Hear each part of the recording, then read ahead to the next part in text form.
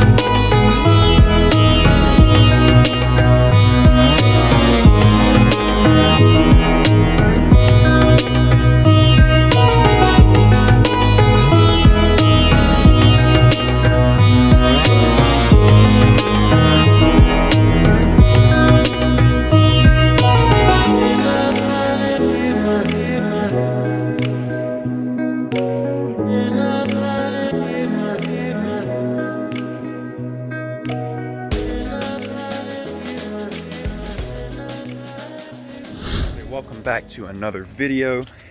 Today we're gonna go do something really fun that I like to do at this time of year. It's almost winter, basically is. It's getting pretty cold out. And we're gonna go tin flipping. I'm gonna go pick up Cameron because he wants to go again. And uh, only thing I got to do first is turn on the animal's lights. So I'm gonna get on that. Of course, we got same tanks, just new setups. Got turtles here. We got the blue tongue skink, Kai. Turn on his light. So a new arrival I got in yesterday. He's a rescue, just like a lot of the other guys in here. Turn his lights on real quick so you can see him. He's actually hiding up there, but it's a little baby green iguana.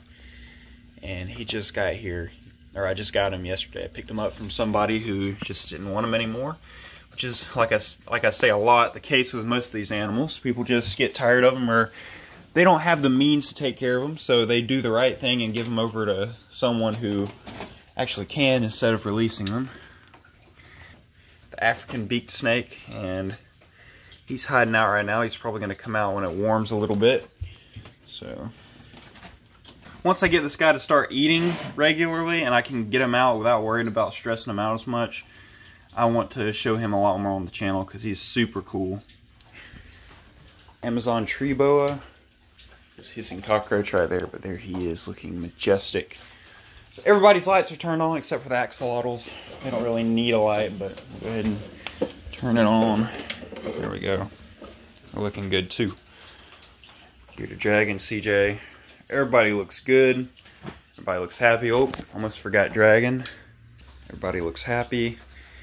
We'll get on the road and pick Cameron up and get the tin flipping because I want to find some king snakes today.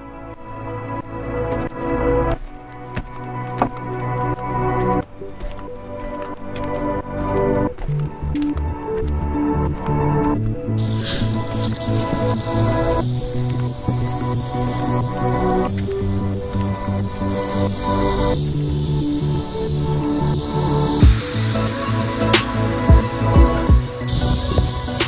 guys, so I didn't get any of it on video because we were flipping tin and we flipped a huge stack and this giant timber was under it and uh, the landowners came, apparently we're on private property and he said for us to get off. But then we showed him the snake and he was really interested so it's kind of unclear whether or not he really wanted us to get off or not but either way we're going to let this guy go. I told him that we would remove it but I'm I'm not going to remove it because he didn't even know it was here to begin with. So we're just going to let it go and hope it hides from him. I might let it go in a different spot though. Oh my god, he's, he's posing. He's like, he's a natural. Beautiful. Or at least video it. Okay, me, oh yeah. How long? Like four, five, like four foot. big, dude. Okay.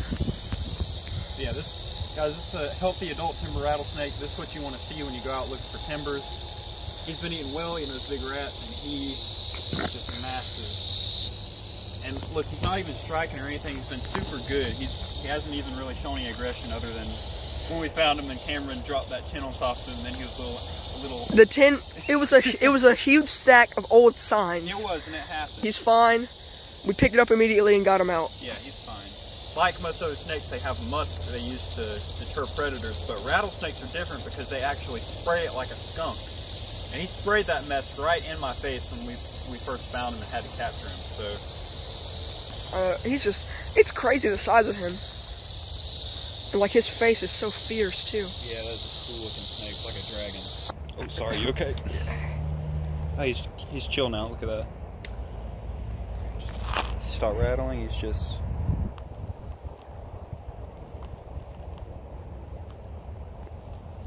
He's not even annoyed anymore.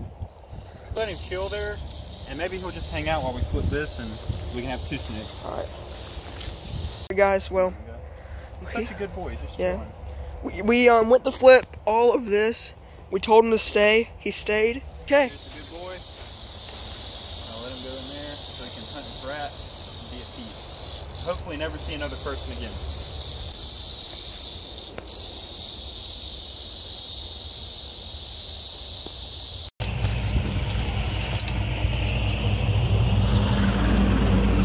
Whoa. Right, you guys. We're at a different spot. I think I've actually walked this. Well, no, it might not have been this one. I'm not sure, but I've walked one of these railroad tracks before and found a a nice banded water snake. But, yeah, we got some good tin in here.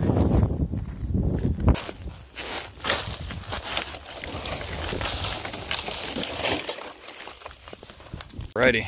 Let's get to flipping some of this stuff. Oh, snake scales, look.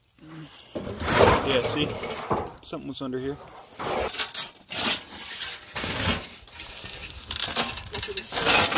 Yeah, it was it was the shed.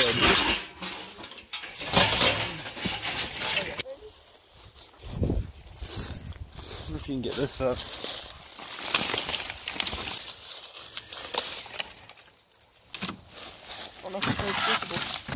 Yeah. Good king snake habitat. Probably king snakes.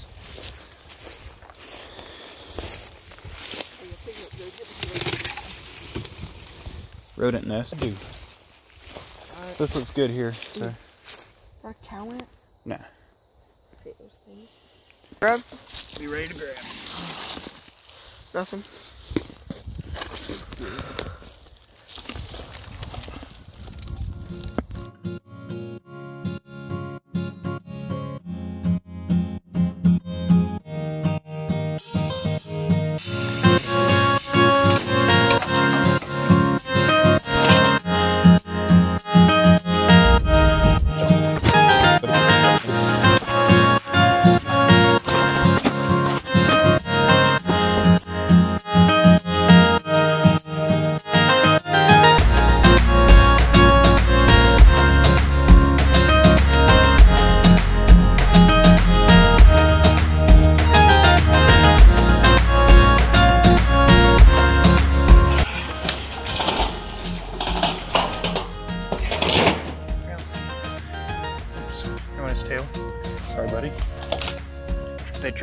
Scared.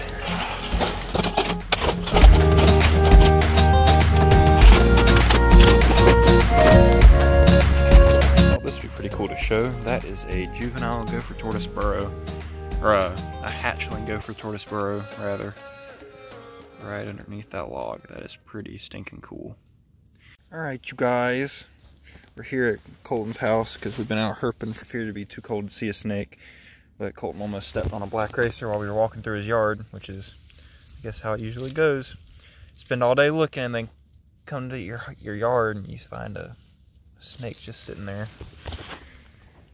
This black racer is so cold it can barely move. I can flip it over and it will just lay there Or was. He's starting to heat up now. Make a liar out of you. Are you ready, guys? All right, Cameron's first snake This bite. is snake bite. Come on, man. This the moment you've been training for. Ugh, I can't do it. Don't, don't know scare it, or it's not gonna bite you. It's moving slightly. He's definitely warming up. How cold is it right now? Like, what's the temp? Like 50s. Probably. Probably around 50s. It's pretty cold. It's not very racer-like. He's so fast. It's a black crawler. yeah, you leave him like that. Just bask until he's got he's charged up enough to go.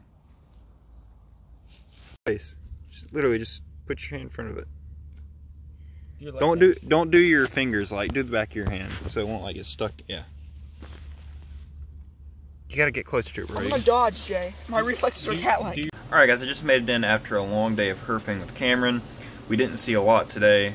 This wasn't all filmed in one day, of course, because it's been kind of slow lately. November is a very slow month for herping in Georgia, typically, but uh, it is when the salamanders are going to start coming out. So hopefully we'll be seeing more of them in the upcoming videos. Uh, if you guys are enjoying these, please leave a like, comment if you want to, or dislike if you don't like it. Uh, feel free to subscribe if you want to see more of this kind of content. Uh, follow me on my journey to continue to better my content so that I can share this stuff with you guys and hopefully it'll get out there and more people will watch. Uh, with all that being said, thanks again for watching and I will see you guys on the next video. I'm going to be getting out and looking for more of the stuff I see during the winter, which is honestly one of my favorite times to herp. So if you would like to see how I find snakes in the colder months of the year, then stay tuned because there's a lot more cool stuff coming your way. Peace out, guys.